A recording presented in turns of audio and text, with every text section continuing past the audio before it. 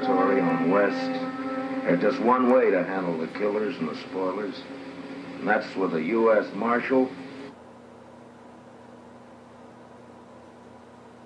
That's why they were being treated that way, or multiple victims, to where the stacking that they have already really isn't affected by this, this decision.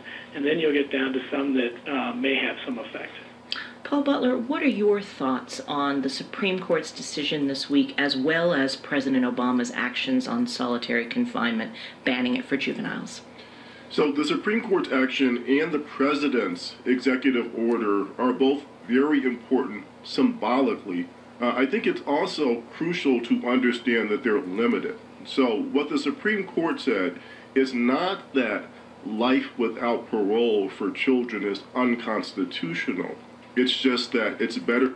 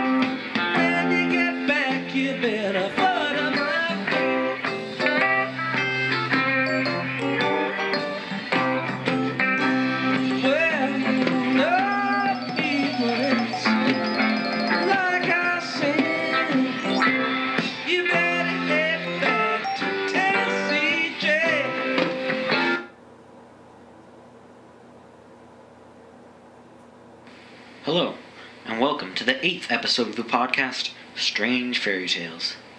Today's fairy tale will have to wait, as Fred is hosting a Halloween party at her house.